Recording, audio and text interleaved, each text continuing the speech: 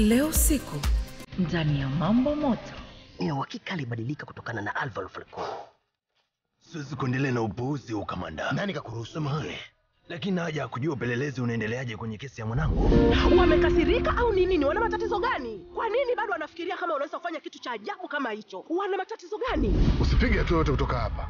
Nitaenda kumuuliza bibi Falcon kama amekuruhusu uweze kuingia katika bustani yake na kufanya chochote, uh, kutoa vitu ndani ya nyumba au unaviiba wewe.